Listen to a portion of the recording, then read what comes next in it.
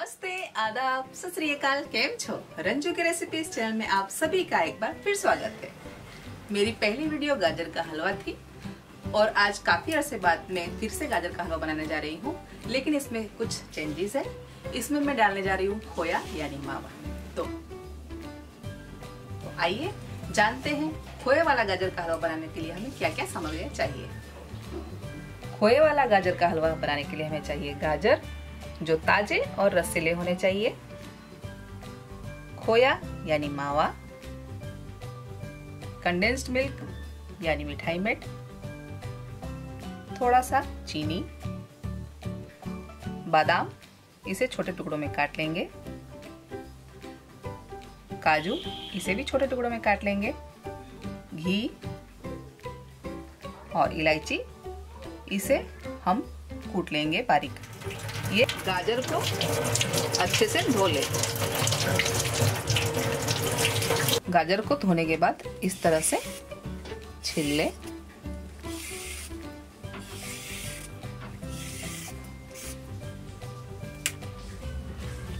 गाजर को छिलने के बाद इस तरह से कद्दूकस कर ले।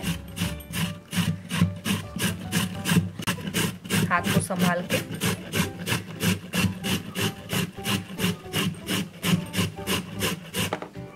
देखिए।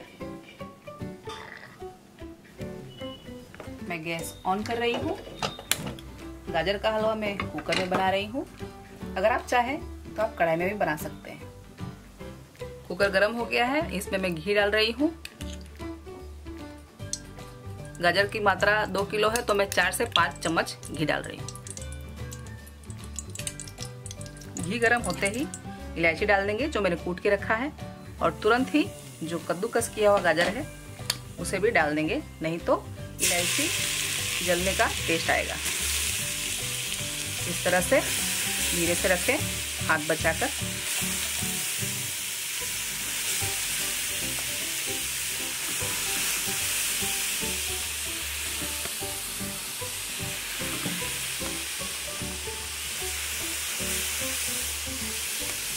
आराम से फैला के रखिए अब हम इसे चलाएँगे। मेरा हो गया है, ये मेरा सारा गाजर।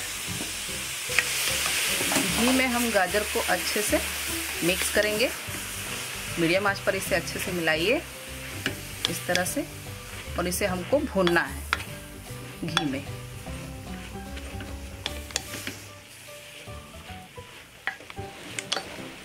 गाजर को इसी तरह से भूनते रहना है।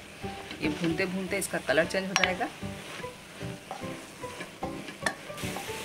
गाजर को मैंने अच्छे से भून लिया है, ये आधा पक गया है।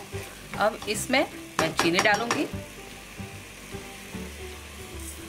चीनी कम ही डालूँगी, क्योंकि कंडेंस्ड मिल्क डालना है और कंडेंस्ड कंडेंस्ड मिल्क अपने ही मीठा होता है। और इसको चीनी डालने के बाद इस तरह से मिला लीजिए।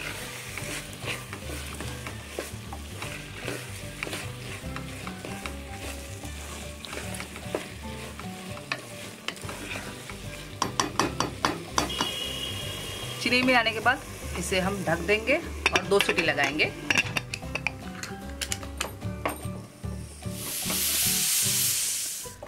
गाजर को मैंने सीटी लगा लिया है। अब इसमें मैं मिठाई में डाल रही हूँ। अगर आप चाहें तो उसमें दूध भी डाल सकते हैं। दूध डालने के बाद उसमें आपको चीनी की मात्रा बढ़ानी पड़ेगी। अब इसे अच्छे से मिक्स करके इसे पका लें।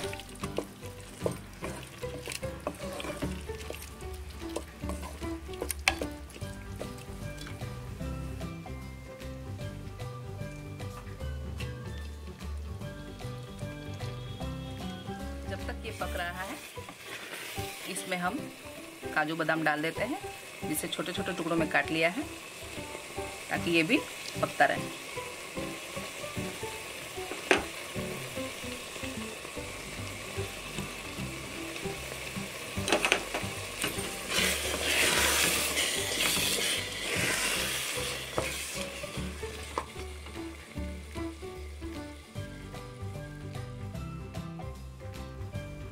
पोहा को मैंने कद्दूकस कर लिया है।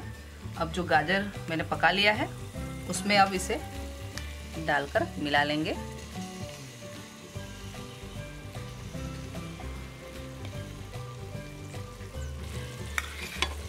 अब इसे अच्छे से मिक्स कर ले और थोड़ी देर इसे पका लें।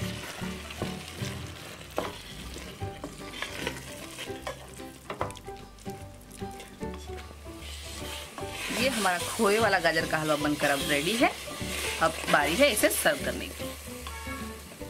खोए वाला गाजर का हलवा बनकर बिल्कुल तैयार है गर्मा गर्म खाने के लिए। अब इसे थोड़ा सा गार्निश कर ले। ये काजू। और थोड़ा सा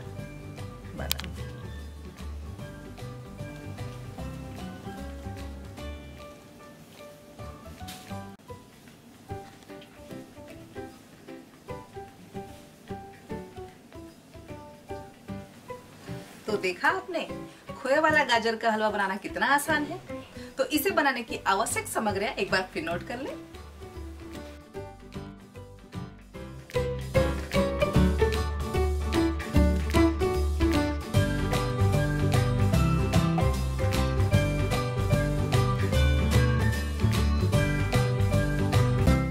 अगर आपको यह वीडियो पसंद आया हो तो रंजू की रेसिपीज़ चैनल को सब्सक्राइब करें, लाइक करें कमेंट भेजे, प्रश्न पूछे और शेयर करें। और हाँ बेल आइकन दबाना ना भूले, ताकि मेरी जो भी वीडियो अपलोड हो, उसका नोटिफिकेशन आप तक पहुँचता रहे। यह वीडियो देखने के लिए आप सभी का एक बार फिर से दिल से शुक्रिया।